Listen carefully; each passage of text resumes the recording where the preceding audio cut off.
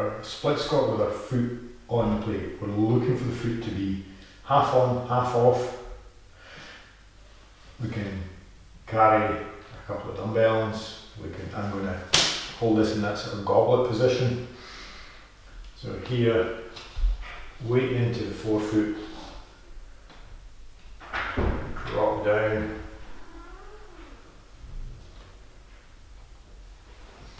Back up. Down.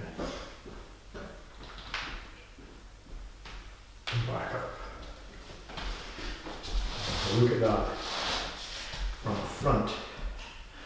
Ideally what we want to do is actually just set up a slight rotation.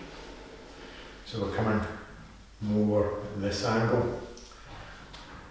And here